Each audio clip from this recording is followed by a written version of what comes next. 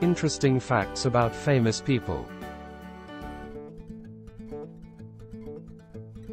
The fastest Western gunslingers.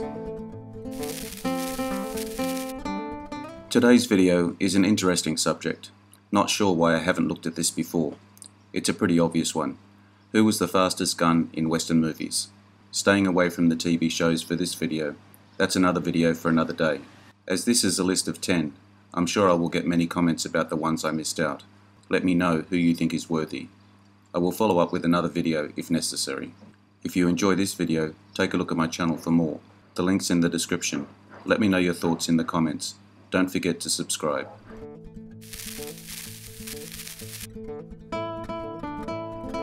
Terence Hill's Trinity, the gunslinger at the centre of They Call Me Trinity.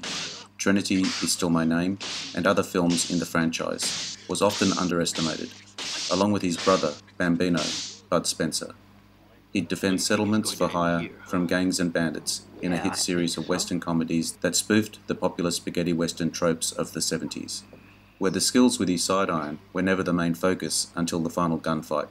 After he hadn't been taken seriously for most of the film, his reflexes would always save the day.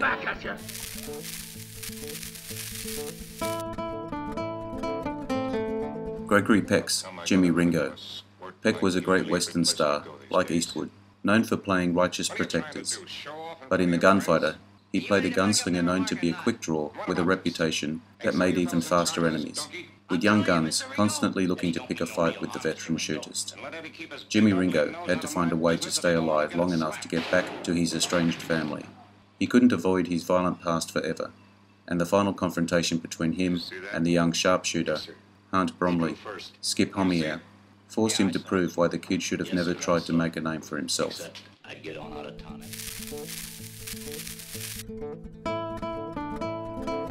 Val Kilmer's Doc Holliday. Aside being known for his erudite way with words, Doc Holliday was known for being one of the fastest guns in the American frontier, alongside his pal Wyatt Earp, Deputy Marshal of Tombstone. In Tombstone, he joins the Earp brothers in protecting the small town in Arizona from Johnny Ringo, a notorious gun himself, and his gang. Holliday was known to fire eloquent refrains as fast as he emptied the chamber of his Colt single action Army revolver, which he was incredibly deadly with even after suffering from acute tuberculosis. He was just too high strung.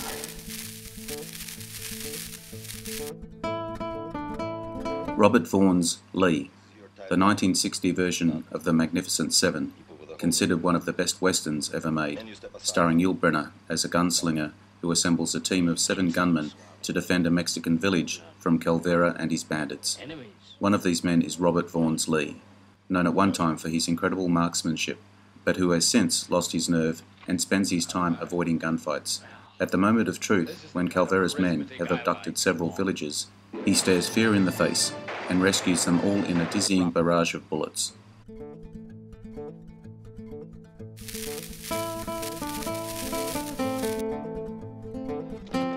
Charles Bronson's Harmonica. In the Western epic Once Upon a Time in the West, Charles Bronson plays a mysterious gunslinger, simply named Harmonica, who gets caught up between a cattle baron and a farmer's railroad feud. The baron sends Frank Henry Fonda, the original man in black, to hunt down anyone trying to defend the farmer's rights, and Harmonica intervenes. Their showdown is one of the most famous in Western history, and while Frank is ruthless, he can't match the gunslinger's vengeance fueled accuracy. You brought two too many. John Wayne's Tom Doniphan.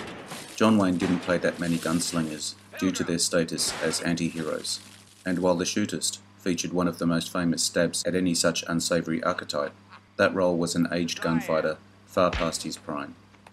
In The Man Who Shot Liberty Valance, he plays Tom Doniphan, a man at the centre of a mystery involving who shot outlaw Liberty Valance, Lee Marvin, him or Senator Stoddard, James Stewart.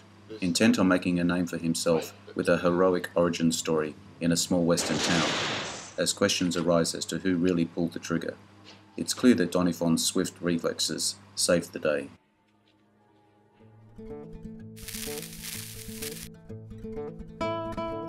Randolph Scott's Ben Brigade. Randolph Scott was known for playing tall in the saddle heroes, and Ben Brigade in Ride Lonesome had a little more grit to him. The Western follows Brigade, a renowned bounty hunter, and he brings wanted murderer Billy John, Ben Best, to Santa Cruz to be hanged. But the two have to cross perilous terrain in order to reach the city and justice. The former lawman appears to be only interested in the cash, but things take a violent turn, and he has to remind the outlaw why he's not to be crossed when it comes to drawing his sidearm. I thought for a minute there you were going to let him swing. So did I. Okay? Glenn Ford's George Temple. In The Fastest Gun Alive, Glenn Ford is a modest and soft spoken storekeeper who doesn't want any trouble from anyone. Unfortunately for him and the small town of Cross Creek, a band of bank robbers decide to stop in and change their horses, bringing mischief and mayhem along with them. Overnight, they push the mild mannered George Temple to his limit, and his violent past returns to haunt him, necessitating him to take action against them anytime you like. in one explosive showdown.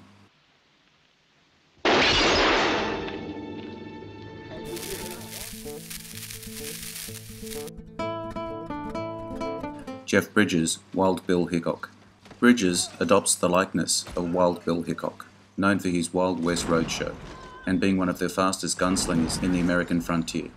A quick drawing gunfighter who likes to live dangerously. The film follows Hickok as he tries to keep one step ahead of his mounting enemies and settle in what would become his final resting place, Deadwood, South Dakota. Hickok's reputation continues to precede him thanks to the exciting firefights in Wild Bill Hickok.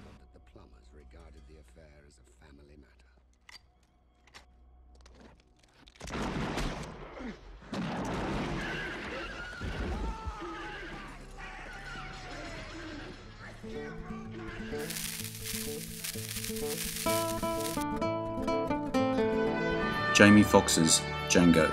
In Quentin Tarantino's Django Unchained, Jamie Foxx's Django is a man on a mission, trying to find the wife he's been separated from by a slave trade. Taken under the wing of an urban Swiss dentist, Christopher Waltz, he learns how to fire rifles, pistols, and everything he needs to storm the plantation where she's being held captive. While Tarantino employs some revisionist history to give the film a happy ending, it's impressive watching Django mow down dozens of enemies on his way to rescue his true love in this exciting postmodern western.